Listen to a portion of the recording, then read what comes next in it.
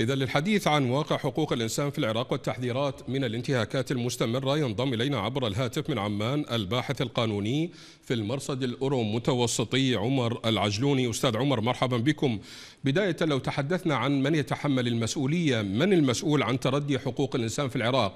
هي هل هي الحكومة أم الأحزاب أم الميليشيات أم تراها أن الأطراف ثلاثتهم مجتمعة في تردي حقوق الإنسان في العراق؟ أهلا. وسهلا بك وبمشاهدي قناة الرافدين الكرام. آه، في واقع الحال فإن كل عناصر منظومة الحكم في العراق مسؤولون عن هذا التردي المستمر سواء بارتكاب الجرائم بصفة مباشرة باختلاف انواعها من القتل بالاختطاف والاعتقال التعسفي أو عبر إهمال محاسبة المتورطين فيها وتشكيل لجان تحقيق غير فعاله وانتهاء بتجديد الغطاء السياسي للمتورطين في هذه الجرائم المرة تلو الأخرى يعني بصفة عامة فكل هذه الأطراف متورطة في التردي المستمر في حقوق الإنسان ولكن كل يعني جهة تقوم بالمساهمة بهذا التردي بشكل مختلف عن الأخرى أستاذ عمر يعني موضوع التدهور بحقوق الإنسان لماذا يظهر بشكل كبير بين شريحة النازحين؟ ما سبب في ذلك؟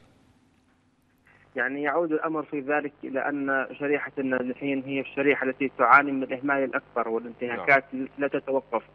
هذا الأمر ليس مقتصرا فقط عن الإغلاق المتتالي للمخيمات التي أصلا هذه المخيمات تعاني من مشاكل جوهرية، هنالك أيضا ترك لهؤلاء النازحين في المخيمات العشوائية وحرمان آلاف منهم من وثائقهم الثبوتية. يعني نحن في المرصد وثقنا في بيان سابق نعم. أثر حرمان هذه الوثائق الثبوتية على اللاجئين وعلى عدم قدرتهم على العمل ولو بشكل متقطع من أجل تأمين احتياجاتهم في هذه المخيمات. يعني حقيقة الأمر ان ما يجري هو تحويل ممنهج لملف النازحين إلى ملف مواطنين يقطنون في مناطق عشوائية نعم. ما يعني اهمالا كاملا لهم متعامين عن حقيقة تهجيرهم من بيوتهم ومناطقهم وما لحق به من أضرار كبيرة.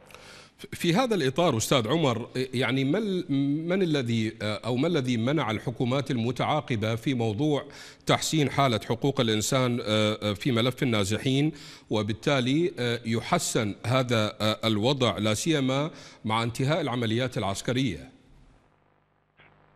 الحكومات المتعاقبة دائما ما تتحجج بقضيه الهاجس الأمني وتقول بأن الهاجس الأمني هو ما يحول ما بين هؤلاء النازحين وما بين عودتهم لمنازلهم وهذا يعرقل عودتهم ويعرقل عملية إعادة الإعمار.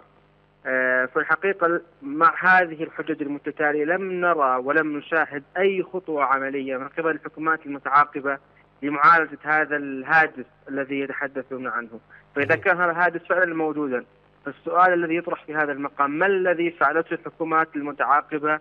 لمعالجة هذا الهاجس ما, ما, ما يقال وما يروى حول هذا الهاجس هو فقط من أجل يعني الاستمرار في هذه المأساة والاستمرار في تجاهل حقيقة ما يعانون هذا لو تطرقنا إلى موضوع مهم وهو السجون الحكومية هل وصل العراق إلى مرحلة يتطلب فيها وجود لجان تقصي حقائق تكون دولية ومستقلة لكي تنظر بموضوع السجون الحكومية والميليشياوية؟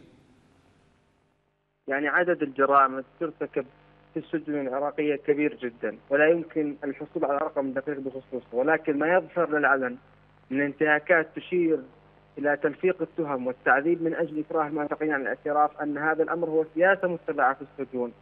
يعني وحديثا يعني فقط خلال الأسبوع الماضي نحن رصدنا انتهاكا خطيرا حدث مع أحد المواطنين في كركوك لفقت له تهمة واعتقل لمدة سنة وتعرض للتعذيب أدى إلى بتر أصابعه والمؤلم فيما حدث معه أن من لفق هذه التهمة هو عنصر بالحشد الشعبي حضر التحقيق وحضر إحدى جلسات التعذيب. وعلى هذا الأمر فإن ما فإنه أصبح من الضروري تشكيل لجان دولية لتقصي الحقائق وإعادة هيكلة منظومة العدالة في العراق وعلى رأس تلك الإجراءات إعلان عفو عام ينهي عذابات المواطنين الذين اعتقلوا بناء على تهم كيديه. أه، بنظرة مستقبلية استشرافية، هل يمكن الارتقاء بحالة حقوق الإنسان في العراق؟ يعني هنا بمعنى أوضح، أه، لماذا تغيب الاستراتيجيات الواضحة أه، لتعزيز حقوق الإنسان داخل البلاد؟ السبب الرئيسي أن كل الحكومات المتعاقبة باختلاف توجهها السياسي تعامل ملف حقوق الإنسان معاملة واحدة معاملة تقوم على تجاهل الانتهاكات المتكررة وغياب المحاسبة وغياب أي خطوة عملية من أجل ذلك. وأي خطوة يعني يعلن عنها تكون فقط لإسكات الناس وللاستمرار في هذه الجرائم. المطلوب كما أشرت قبل نعم. قليل هو إعادة هيكلة منظومة العدالة في العراق عبر التعاون مع المجتمع الدولي بما يشمل ذلك تشكيل لجان دولية محايدة لمعالجة مختلف الملفات وعلى رأسها ملف جرائم التعذيب في السجون محاسبة المتورطين في الجرائم المرتكبة ضد المتظاهرين بالإضافة إلى إنهاء معاناة النازحين بشكل جذري ودائم. من عمان الباحث القانوني في المرصد الأورو متوسطي عمر العجلوني شكرا جزيلا لكم.